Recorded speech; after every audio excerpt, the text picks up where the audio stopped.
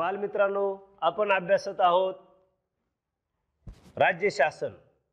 या घटकामध्ये आपल्या महाराष्ट्र राज्याच्या मुख्यमंत्र्यांची कार्य आपण अभ्यासणार आहोत.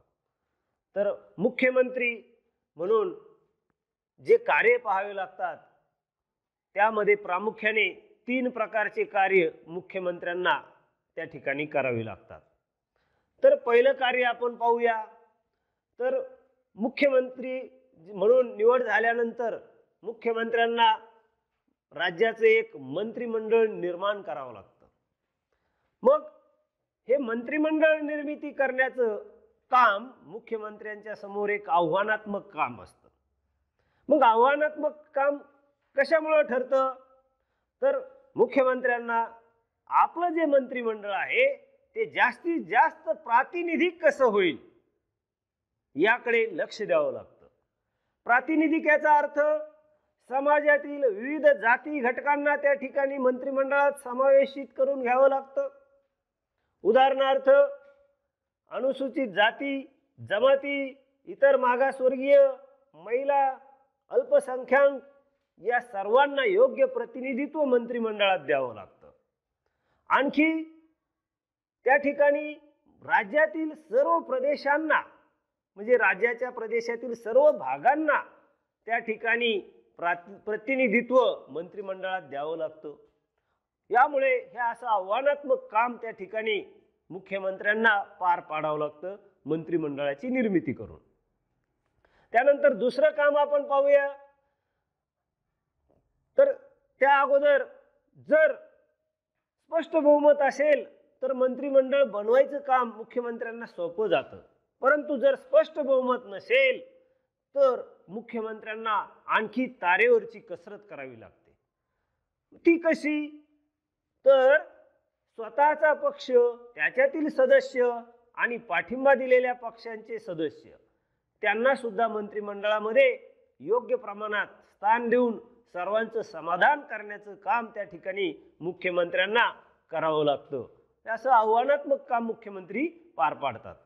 त्यानंतर मंत्रिमंडळाची निर्मिती झाल्यानंतर आपल्या मंत्रिमंडळातील जबाबदार मंत्र्यांना त्या ठिकाणी खाते वाटप करण्याचं काम मुख्यमंत्र्यांना करावं लागतं. निवडलेल्या मंत्र्यांना त्यांच्यातील अनुभव कौशल्य राजकीय कौशल्य त्यांच्यातील नेतृत्व गुण अभ्यासूपणा या गुणांचा विचार करून मुख्यमंत्री त्या सदस्यांना म्हणजे त्या मंत्र्यांना योग्य असं खातं त्या ठिकाणी देतात. मग हे खाते वाटप करताना सुद्धा खूप अभ्यासपूर्वक असा निर्णय त्या ठिकाणी घ्यावा लागतो. कारण मंत्रिमंडळाचं एकूण नेतृत्व हे मुख्यमंत्र्यांकडेच असतं. तिसरं काम त्या ठिकाणी आपण पाहूया. मुख्यमंत्र्यांना खात्या खात्यांमध्ये समन्वय व सहकार्याचं वातावरण निर्माण करावं लागतं. म्हणजे बघा आपल्या अंतर्गत असलेले विविध खात्यांमध्ये समन्वय व सहकार्य जर नसेल तर त्याचा परिणाम त्या ठिकाणी अंतिमरित्या शासनाच्या कामगिरीवर होतो. आणि शासनाची कामगिरी चांगली नाही झाली की त्या ठिकाणी त्याला अंतिमरित्या जबाबदार मुख्यमंत्री हेच ठरतात. म्हणून मुख्यमंत्री त्या ठिकाणी खात्या खात्यामध्ये समन्वय आणि सहकार्य राहण्यासाठी प्रयत्न करतात. आणि हा समन्वय आणि सहकार्य जर राहिलं तर त्या ठिकाणी जबाबदारीने कारभार चांगला होतो आणि पर्यायाने मग आपल्या राज्यातील जनतेचा त्या ठिकाणी विकास होतो. जर मुख्यमंत्री व त्यांचे मंत्रिमंडळ यांनी जर योग्य कारभार केला नाही तर हे एकत्रितरित्या विधानसभेला जबाबदार असतात. आणि मग विधानसभेला जबाबदार म्हणजेच काय? जर यांची कामगिरी चांगली झाली नाही तर त्या ठिकाणी यामधील एखाद्या मंत्र्याकडून जर काही चूक झाली तर त्या ठिकाणी पहा मंत्रिमंडळावर त्याचे दोषारोप येतं. आणि मग मंत्रिमंडळाला त्या ठिकाणी राजीनामा देण्याची वेळ येते. म्हणून मुख्यमंत्र्यांना हे कामं करताना फार जबाबदारीने असे त्या ठिकाणी काम करावं लागतं. मुख्यमंत्र्यांना आणखी त्या ठिकाणी काम कर करावं लागतं.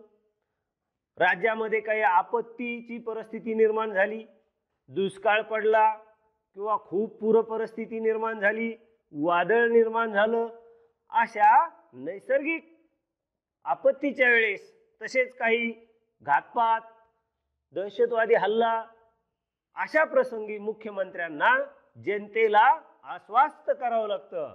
जनतेला धीर द्यावा लागतो.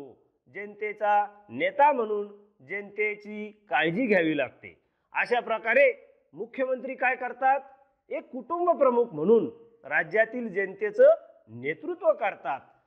मग मला तुम्हाला सांगायचंय सध्या आपल्या महाराष्ट्र राज्याचे मुख्यमंत्री कोण आहेत अमन माननीय उद्धव ठाकरे. माननीय उद्धवराव ठाकरे हे आपल्या महाराष्ट्र राज्याचे मुख्यमंत्री आहेत. मग मी तुम्हाला या भागामध्ये एक प्रश्न देईल. की महाराष्ट्र राज्याचे पहिले मुख्यमंत्री कोण होते? या प्रश्नाचं उत्तर तुम्ही मला कॉमेंटमध्ये पाठवायचं आहे. धन्यवाद.